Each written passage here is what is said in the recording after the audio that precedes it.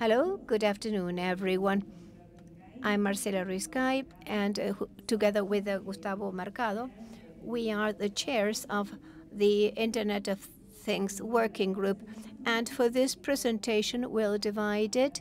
First, we will talk a bit about the working group, and then we are going to say why the network operators should consider the uh, traffic of IoT. You know that uh, the advance of IoT at uh, a global level make it necessary for us to get together in forums and uh, to strengthen uh, the capacities of the region, both uh, in the academia and in development and innovation, and also in industry.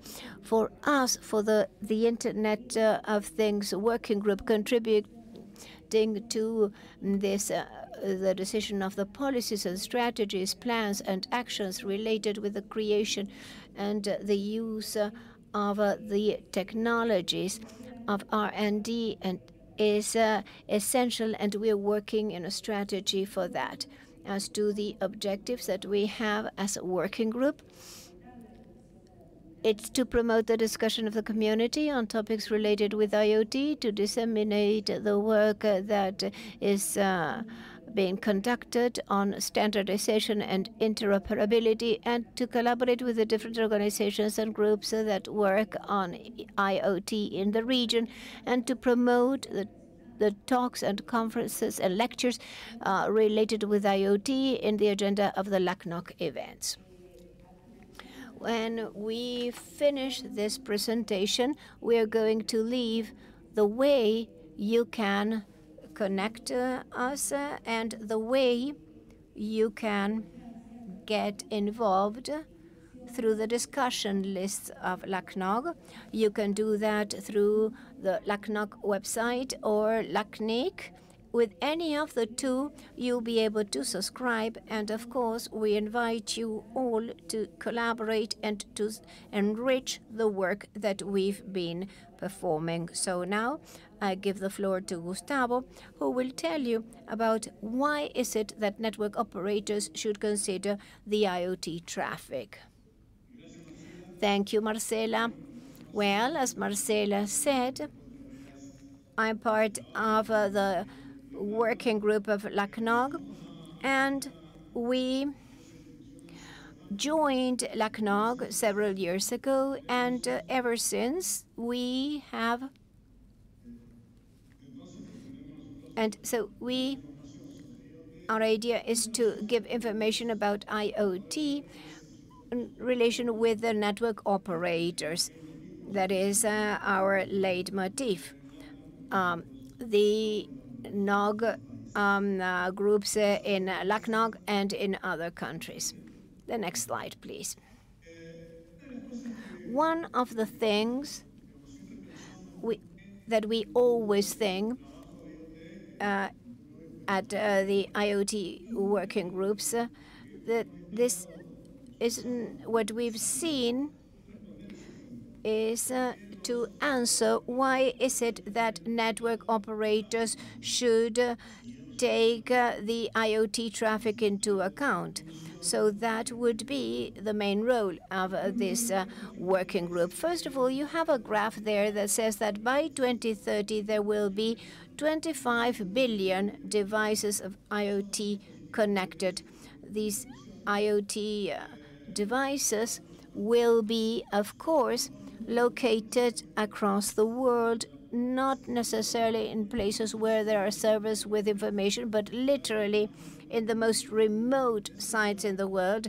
And from those places, we are going to have IoT um, uh, traffic over the internet. For instance, by 2030, I calculated that an IoT devices sending uh, uh, uh, 20 byte uh, packet, uh, for instance, a sensor uh, sending um, measures together with the overhead, the size of the packets, especially IPv6, because IoT was designed to work with IPv6. it would have a traffic of 1.10 exabytes per year, although, well, um, 1.1 is not so significant because usually there's 70 exabytes per year. It is important because the traffic of IoT is completely different from the normal traffic in the internet. That is why the network operators should take that into account. If we say that the internet traffic, most traffics, for instance, well, the streaming uh, traffic, for instance, that mostly is in the internet, has a certain source and a certain destination. And it's always from uh, the origin to the destination in a predictable flow at uh, the internet in internet traffic uh, in the IoT traffic it's completely different. So the uh, the packets of the internet are small are very small for instance one byte for an IPv6 packet more than 2000 percent so the packets are quite uh, you don't we don't make the most of them. Sometimes they are um, um, they're not well formed uh, and they have a high overhead of the protocol.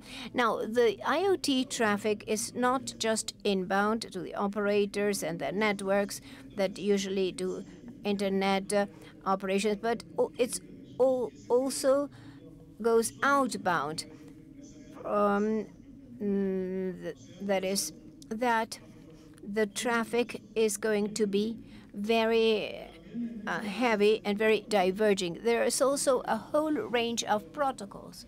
Usually, we are used to one or two protocols uh, in the traffic of the internet. In IoT, there are many protocols, and many of them are not standard.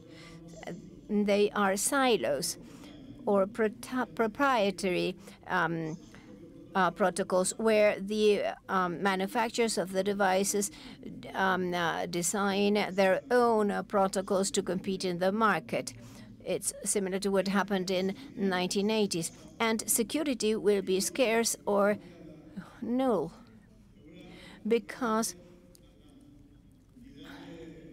of the difficulty of uh, encrypting. Because of the, the small size of the IoT devices, they cannot encrypt, for instance. Um, uh, and also, interoperability is very scarce or non-existent. That is, the content of the packets cannot be told apart because of their contents, because of the characteristic of its coding, because there are different inter uh, semantic interoperability, so the packets cannot be defined. Due to all these factors, the IoT traffic has uh, many peculiarities that the network operators should consider. So all these characteristics, all these situations of packets that will reach your networks or leave from your networks is well, you have to improve and consider and to be careful with all this traffic, uh, and uh, because it will be very intense, and the operators will have to take that into account. That is why the working group at LACNOG, that is why we are uh, urge the network operators to start learning about IoT. Thank you.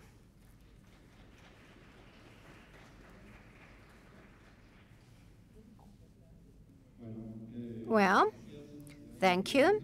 Are there any questions?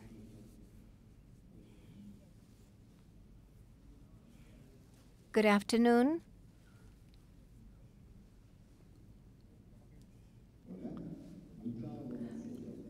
Gustavo uh, Marcel Judice. Hello, Oscar. Oscar Judice. I was listening and I was thinking, what would happen if we take more intelligence to the gateway that transforms or links one network uh, to the internet. That is part of the processing is done in the gateway instead uh, of doing it in servers. That is, that would be the question. Would it be feasible? How do you see it? Well, yes, there's a trend in recent, uh, lately, of edge computing or fog computing in the border. But that is simply the current trend. It's not a reality yet. The gateways don't have the full capabilities or the power today to do processing or to adapt the traffic enough, uh, com complete, so that the final packets of IoT should not uh, have inconvenience when recognizing them, especially in security. Thank you, Gustavo and Marcela.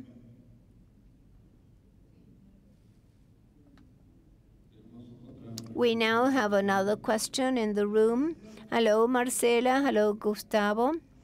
Ariel Weger. I have a question that is rather philosophical. Something that I was thinking with all this because I was frightened with the names that you gave as an operator. This is something that today we consider marginal.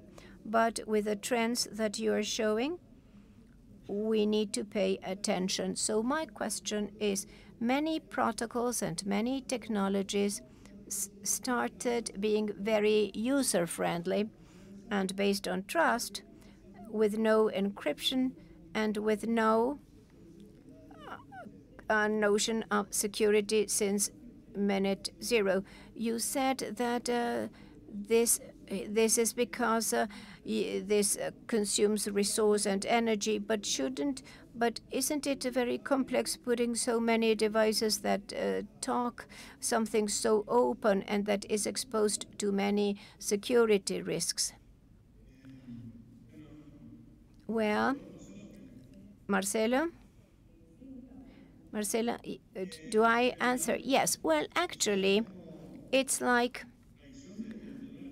the uh, with the Internet of Things, I think that we are as if it were in the 80s, as if we were in the first uh, Internet.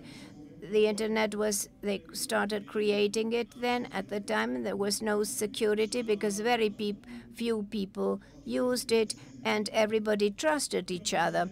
So I think that that is the stage that IoT is at. Of course, we have learned security of the internet for 30 years, so it's not that we don't know anything of security. As a matter of fact, at this FTL meeting, there were two lectures only for IoT security. But the trend, of course, is uh, uh, to follow in that line. But remember that most IoT devices come from different uh, from small manufacturers and they want to put uh, their products in the markets uh, as quick as possible and to win the market. And very and most of the usually the, the security is not their concern. So one of our tasks as a task force or working group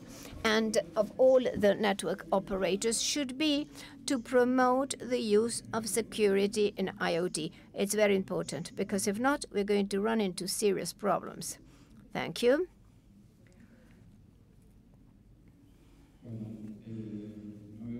I don't see any more questions. No questions in the Q&A, no questions uh, in the room. So thank you, Marcela, Gustavo, a round of applause.